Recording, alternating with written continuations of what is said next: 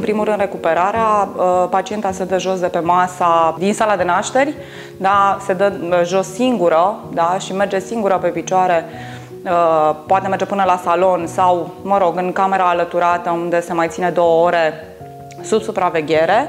Dar, în principiu, dacă nu e nicio problemă copilul, ea poate pleca de pe o zi pe alta acasă.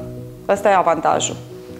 Uh, într-adevăr că pot exista, dacă se face epiziotomia aia, pot exista niște usturimi, na, normal, uh, se simte o presiune la un moment dat, poate exista o constipație, dar, mă rog, astea sunt, uh, sunt niște chestii care se reduc da, la o zi, două. Pe când la cezariană, um, cel puțin o săptămână, dacă nu și mai mult, depinde de fiecare persoană, are nevoie de antiinflamatoare, are nevoie de calmante.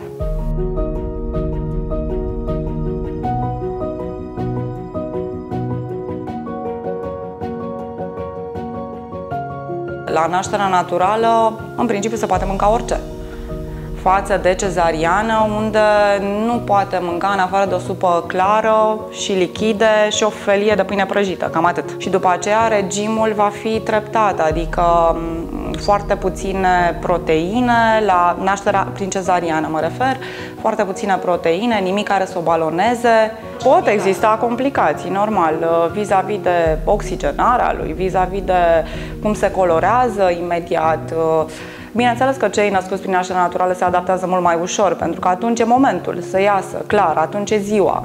Și atunci, normal că altfel, altfel intră în procesul ăsta al, mă rog, de vis-a-vis de neonatologie și vis-a-vis de pus la aspirat sau pus la căldură sau la oxigenoterapie față de cei prin cezariană.